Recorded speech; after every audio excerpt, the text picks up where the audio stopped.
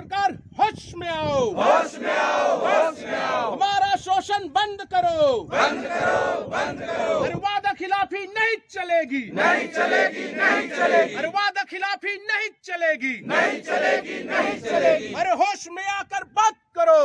बात करो बात करो। अरे मांग तो पूरी करनी होगी। करनी होगी करनी होगी। अरे दादागिरी नहीं चलेगी। नहीं चलेगी नहीं चलेगी। अरे बोल जमूरे हल्ला बोल हल्ला बोल हल्ला बोल अरे हाथ उठा के हल्ला बोल हल्ला बोल हल्ला बोल अरे ज़ोर ज़ोर से हल्ला बोल हल्ला बोल हल्ला बोल अरे ताली बजा के हल्ला बोल हल्ला बोल हल्ला बोल मनीष मिश्रा हल्ला बोल हल्ला बोल हल्ला बोल अरे पीछे वाले हल्ला बोल हल्ला बोल हल्ला बोल अरे नारी शक्ति हल्ला बोल हल्ला बोल हल्ला बोल अरे मानपुर मोहल्ला हल्ला बोल हल्ला बोल हल्ला बोल अम्बागढ़ चौकी हल्ला बोल हल्ला बोल हल्ला बोल ज़ोर ज़ोर से हल्ला बोल हल्ला बोल हल्ला बोल हमारी मांगे जायज़ है जायज़ है जायज़ है अरे वेतन विसंगति दूर करनी होगी। करनी होगी करनी होगी। अरे मांग तो पूरी करनी होगी। करनी होगी करनी होगी।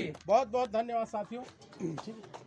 जिंदाबाद। जिंदाबाद जिंदाबाद। हमारी एकता जिंदाबाद। जिंदाबाद जिंदाबाद। हमारी संख्या जिंदाबाद। जिंदाबाद जिंदाबाद। वेतन विसंगति दूर करो। दूर करो दूर करो। वेतन विसंगति दूर करो। दूर करो दूर करो हमारी मांगे जायज़ है जायज़ है जायज़ है मनीष मिश्रा संघर्ष करो। हम तुम्हारे साथ हैं मनीष मिश्रा संघर्ष करो। हम तुम्हारे साथ हैं हमारी एकता जिंदाबाद। जिंदाबाद जिंदाबाद हमारी मांगे जिंदाबाद। जिंदाबाद जिंदाबाद अरे अभी तो ये अंगड़ाई है आगे और लड़ाई है। ये अंतिम लड़ाई है। अरे अभी तो ये अंगड़ाई है। ये अंतिम लड़ाई है। अभी तो ये अंगड़ाई है ये अंतिम लड़ाई है हर ज़ोर जुल्म के टक्कर में संघर्ष हमारा नारा है हर ज़ोर जुल्म के टक्कर में संघर्ष हमारा नारा है बहुत बहुत धन्यवाद साहब आपको बहुत बहुत चलो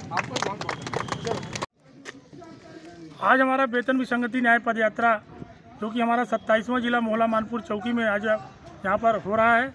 आप देख सकते हैं, यहाँ पर भारी शक्ति में ना, भारी भीड़ में जो है, नारी शक्ति की यहाँ पर आप संख्या देख सकते हैं और सहायक शिक्षक, प्रधान पाठक की संख्या यहाँ पर आप देख सकते हैं। लगातार हमारा जो है आंदोलन है, आज यह क्रमिक आंदोलन, वेतन विसंगति न्याय पद यात्रा मोला मानपुर चौकी में हो रहा है। उसके बाद भी अभी तक सरकार जो है अपनी बातों पे अडिग है। हमारी मांगों पर भी ध्यान नहीं दे रही। अंतिम अंतिम बजट जो है वो भी प्रस्तुत हो चुका है और सरकार ने हमसे जो है चुनाव में आने के पहले वादा किया था, कमेटी का निर्माण भी किया था, अधिकारी लोगों ने भी आश्वासन दिया था। शिक्षा मंत्री ने बोला था कि पंद्रह दिनों में आपकी मांग पूरी हो जाएगी, लेकिन अभी तक सरकार अपनी हट धर्मिता पर बैठी है। मैं इस वीडियो के माध्यम से सरकार तक यह संदेश पहुंचाना चाहता हूँ। हमारी बातें जो है मान ली जाए और इस धरना आंदोलन को सब जल्दी से जल्दी समाप्त कराए। अभी सरकार के पास सात महीने का समय है और इस सात महीनों के अंदर आपकी मांगे जो है निश्चित एक सौ एक परसेंट पूरी होंगी। इस बात की आपको गारंटी देता हूँ।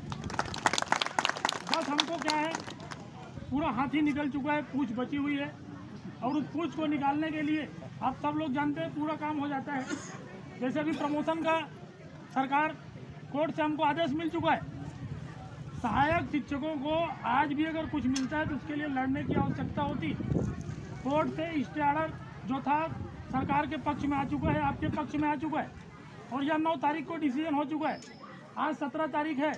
सभी जेडी लोग अगर चाहते तो अपनी सूची अभी तक बना लेते अभी अभी हर हर जो है लगभग बारह तेरह हज़ार जो हमारे शिक्षक साथी है सहायक शिक्षक साथी है, उनका यूडीटी में प्रमोशन हो जाता।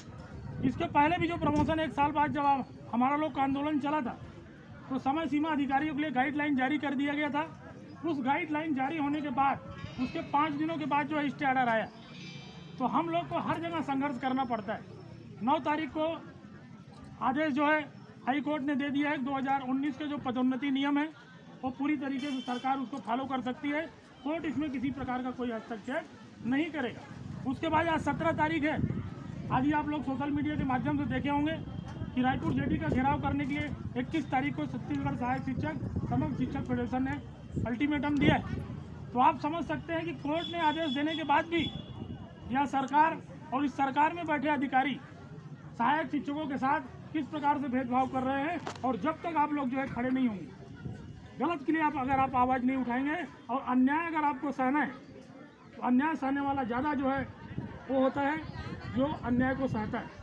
इसलिए आप सभी लोगों से मेरा यही अभी निवेदन है कि आप सभी सभी लोग साढ़े चार साल तक इस संगठन के बल पर आखिरी दम तक लड़े हैं और मात्र हमको कुछ महीने और बचे। हमारा जो क्रमिक आंदोलन है, क्योंकि हम लोग को रायपुर में आंदोलन नहीं करने दिया गया, इसलिए हम लोग जो है क्रमिक आंदोलन जो है चला रहे हैं। यह तेईस तारीख, तेईस मार्च को इसका समापन होगा।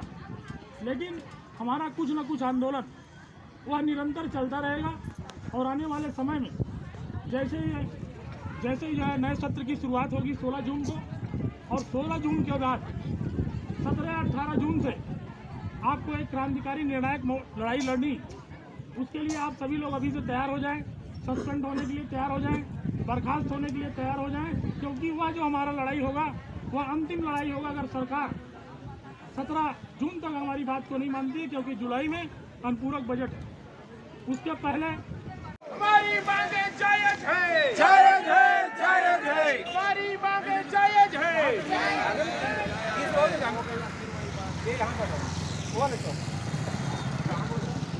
रोड का तरफ़ घूमते नहीं वो जो कलेक्टर रोड है सर वहीं इस रोड में आ जाते हैं छत्तीसगढ़ फेडरेशन जिंदाबाद जिंदाबाद जिंदाबाद हमारी मांगे जायज़ है जायज़ है जायज़ है हमारी मांगे जायज़ है जायज़ है जायज़ है सहायक शिक्षकों का शोषण बंद करो बंद करो बंद करो शिक्षकों का शोषण बंद करो बंद करो बंद करो दादागिरी नहीं चलेगी नहीं चलेगी नहीं चलेगी